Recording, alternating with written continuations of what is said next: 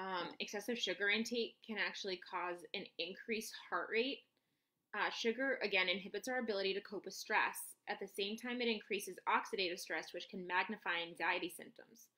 Not only does the actual effect of the intake of sugar do this, but the resulting crash can increase this as well. So you'll notice it on both ends.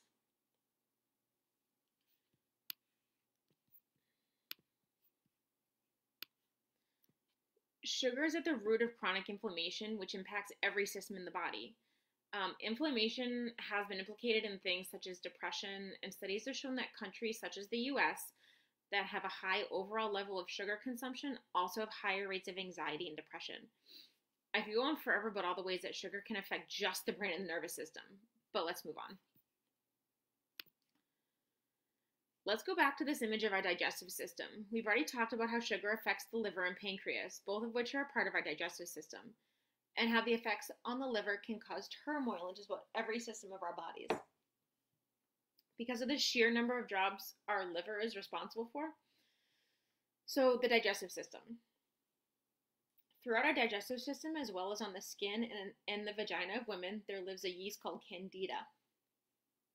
Many of you have probably heard of it. Now, most of us know that we all have bacteria, both good and bad, that live all throughout our bodies. Our health depends on a good balance between these. We don't want no bad bacteria, we just want a good balance between the two of them. Now, candida, like other yeast, feed off sugar. Our immune system. These are all components in our body that are directly responsible for performing jobs directly related to our immune system especially important for those who may have at some point in their lives parted with their tonsils, adenoids, spleen, and or appendix, as your immune system will already be compromised if you are missing um, if you're missing any of these. However, as we saw before when we were discussing the brain, sugar is known to cause inflammation, which also affects the immune system by many of the same mechanisms. Also, as we saw before, sugar depletes vitamin D, which is an important vitamin for a healthy immune system.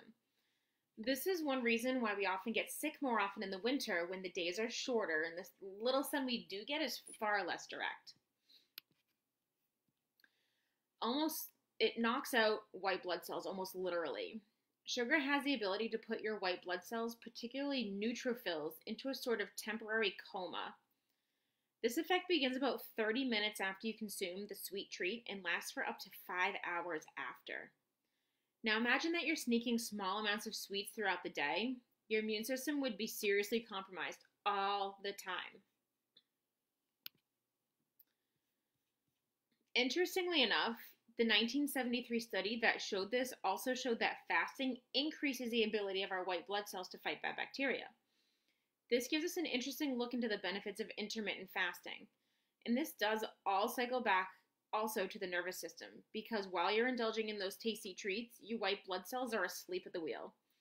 You're triggering a boost in stress hormones, your body's coping with excess insulin while also suffering a depletion of healthy glucose levels. It's just becoming a mess now. And finally, cancer cells love sugar. This 2012 study I have listed up here shows that cancer actually feeds off of glucose. When they're deprived of glucose, they actually have a better chance of dying than with treatment alone. So, how much sugar is safe? Well, the short answer is that sugar has absolutely no nutritional value. Our bodies simply don't need it to survive. That being said, the American Heart Association recommends that we consume a top limit of six teaspoons of added sugar per day. The upper limit for men and children varies slightly, but like I said, the bottom line is that the less the better. Our labels aren't really helpful with that, so what does that mean exactly? Each teaspoon of sugar is about 4 grams, 4.2 actually. So that calculates to be no more than 25 grams of sugar per person per day. How many grams of sugar do you think the average American consumes in a day? I'm just going to let you think about that for a minute before I switch to the next slide. You ready?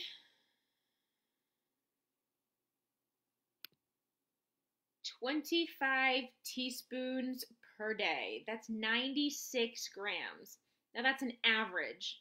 Historically, Americans